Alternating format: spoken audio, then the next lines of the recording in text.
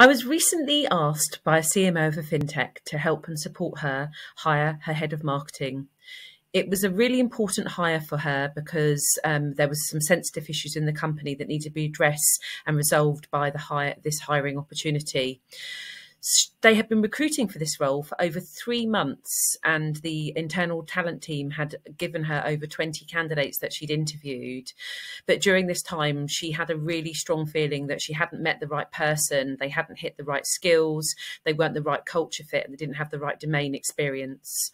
So we had a detailed discussion about her roadblocks and the problems she had, and we put together a brief.